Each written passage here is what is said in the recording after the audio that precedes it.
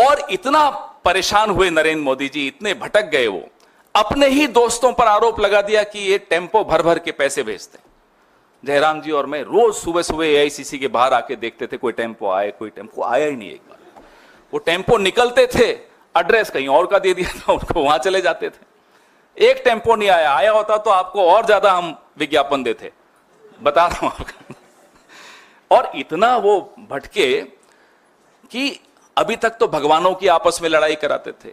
जो हमारे बुज़ुर्ग नेता जो रहे नहीं, अब नेहरू जी की लड़ाई पटेल से करा दी थी सुभाष चंद्र बोस जी की लड़ाई करा दी थी। अब रविवार की लड़ाई शुक्रवार से करा दी, जाते जाते।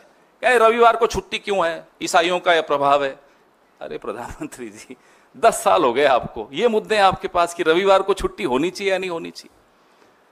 वो जब बोल रहे थे उस दिन सोमवार था, उससे एक दिन पहले छुट्टी ली थी उन्होंने, प्रचार नहीं किया था। जयराम जी ने ट्वीट किया था कि आज प्रचार नहीं कर रहे। तो मैं आपको बताने की कोशिश कर रहा हूँ कि कैसे उनका प्रचार भटक गया और कैसे डिरेल हो गया, जिसको इंग्लिश में कहते हैं। जाते जाते उन्होंने एक और बात ज्ञान की कर दी। ज्ञान के तो वो सागर है एंटायर पॉलिटिकल साइंस है। बोले कि बापू को कोई जानता ही नहीं था। पिक्चर बनी तब से जानते थे। मोदी जी, आप पर सौ पिक्चरें बन जाए ना, आपको लोग भूल जाएँगे। ये आप लिख कर ले लीजिए। आपको पिक्चरें भी अब नहीं बचा पाएँगे।